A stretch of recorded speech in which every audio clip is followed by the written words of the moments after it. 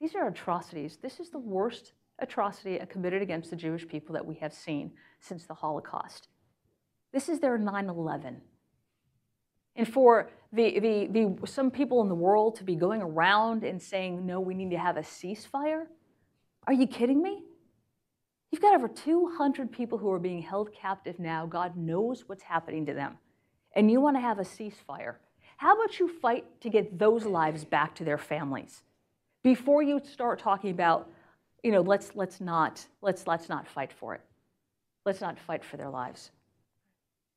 I have no problem saying that we support the Israeli people, we support what IDF is doing, and that we absolutely need to wipe Hamas off the face of the earth.